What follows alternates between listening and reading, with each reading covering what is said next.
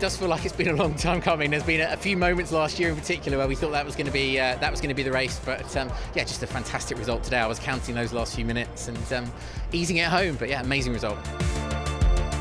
It's a great result. We've been so close there for the last year or two, so uh, to actually pull it off is great. And you know, the team of guys with me, they've all done a fantastic job to get the car and uh, run perfectly today. I think the remarkable thing today was, still something like the last few minutes. There haven't been a single retirement from the race. You know, it's quite remarkable. So, great racing and uh, plenty more of it. We were out the front for the whole race, and I think in some of the others we've had safety cars go against us or for us.